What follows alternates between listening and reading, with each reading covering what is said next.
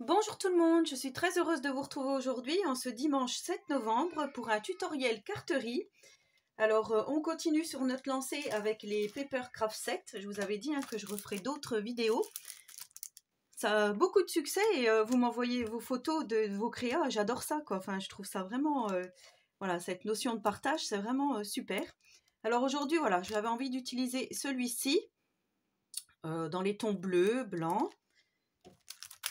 Donc j'ai déjà préparé quelques petits die cuts, mais avant ça, je vais vous montrer donc une base de cartes.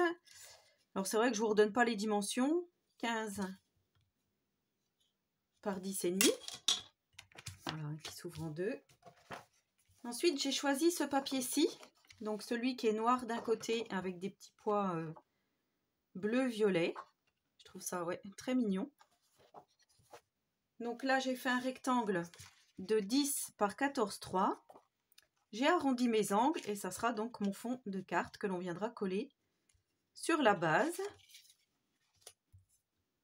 Ensuite, j'ai préparé des petits die cuts. Donc, j'avais envie de partir sur ce petit oiseau là.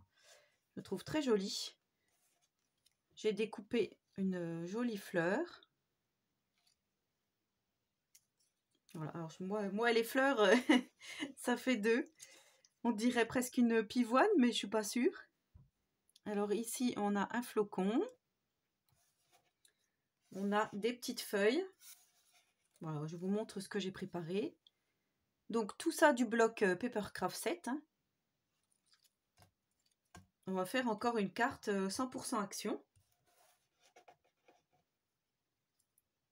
Donc là, on va prendre les petits die cut de coton.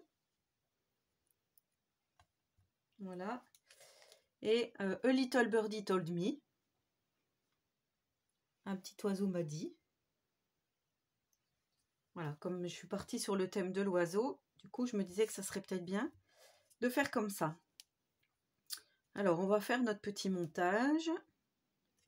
J'ai déjà mis de la, j'ai déjà préparé de la mousse 3D derrière mon, mon sentiment parce que il y a une copinette qui m'a fait remarquer comme quoi mes cartes étaient toujours plates. C'est vrai, je vous l'avais déjà dit. Je mets pas beaucoup de, de scotch double, euh, de scotch double face, de mousse 3D, mais c'est vrai que c'est plus joli. Donc là, j'en ai préparé une double sur celle-ci pour que ça soit encore plus haut que celle-là. Alors je me disais peut-être faire un quelque chose un peu comme ça. À peu près, hein, voilà. Ici, on pourrait mettre une feuille derrière. Voilà, on va partir vraiment sur euh, dans les tons bleus. Voilà, faire un petit peu comme ça. Ça, on va le mettre en dessous. Et après, les petites touches de coton, on viendra les mettre peut-être ici. Voilà, je trouve que c'est pas mal comme ça, le montage. Enfin, moi, ça me plaît bien. Et euh, à la fin, je vais rajouter des petites perles comme ceci, des demi-perles. Donc de chez Action également, dans les tons bleus. Donc ça, je verrai après euh, quelle, quelle demi-perle. Tout à la fin. Voilà, donc là, on va déjà coller notre petit oiseau. Il faut juste que je regarde par rapport au sentiment.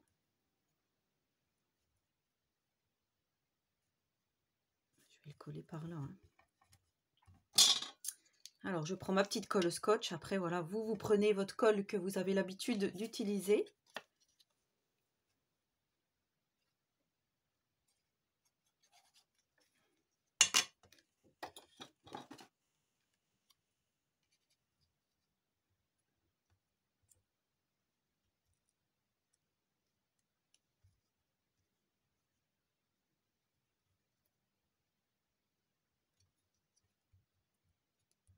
Faire comme ça. Le flocon ici. Donc le flocon, je ne le mets pas en 3D. C'est volontaire.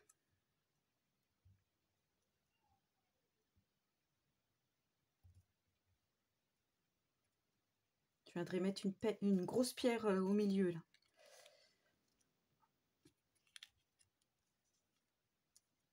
Là, on va mettre la pivoine. Enfin, la fleur. Je ne vais pas trop m'avancer non plus.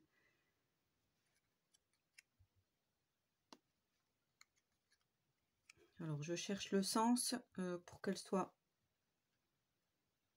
mise en valeur. Voilà, on va faire comme ça. Et ensuite, donc, je viens coller mes petites feuilles.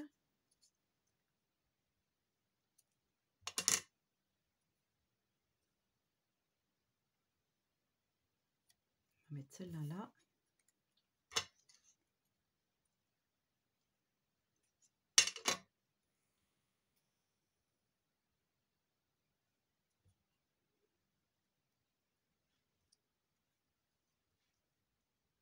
Comme ceci. Ça commence à prendre forme.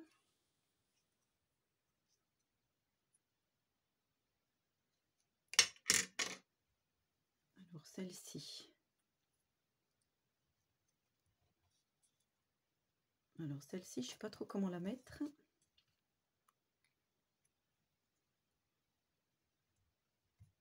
Même si elle dépasse, c'est pas grave.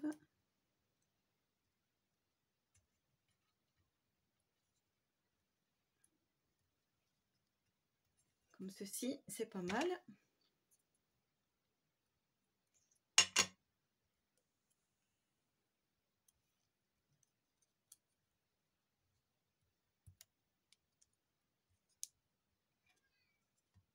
Voilà. Ensuite, donc, je viens décoller ma mousse 3D que j'avais mis euh, préalablement. Alors pour celles qui ne connaîtraient pas, c'est de la mousse qui met en relief et qui est autocollante des deux côtés. Donc j'ai déjà enlevé la première pellicule quand j'ai collé euh, mon premier côté. Et là, j'enlève la deuxième pour pouvoir donc mettre mon petit sentiment.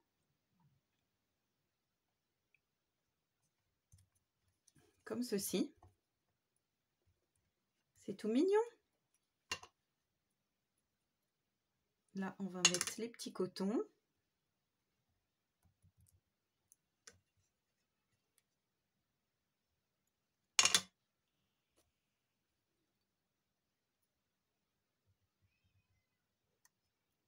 Comme ceci.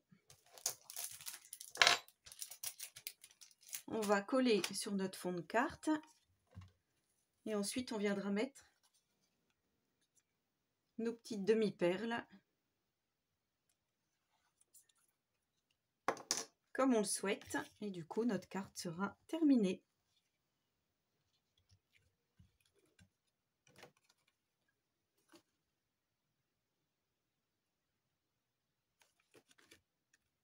Oh, j'aime beaucoup aussi dans les tons bleus, c'est joli.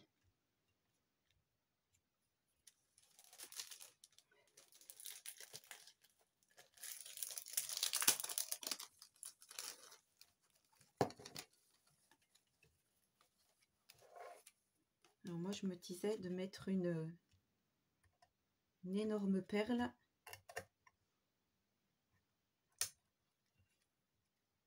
en plein milieu là.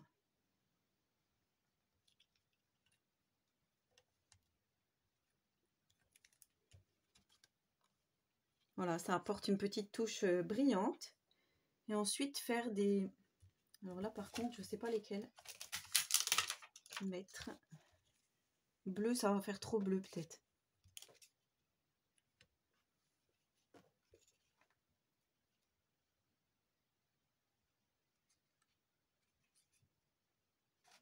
C'est pas mal parce qu'il y a déjà du bleu ici. Donc, euh, ouais, si je vais mettre quand même des bleus.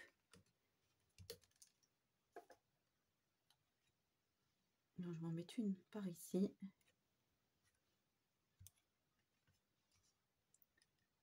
On va mettre quand même une transparente. Donc dans les plus petites. Hein. On va mettre comme ça.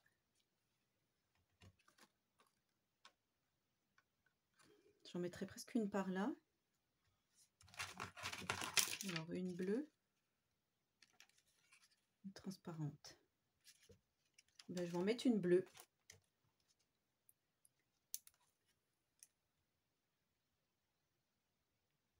Là.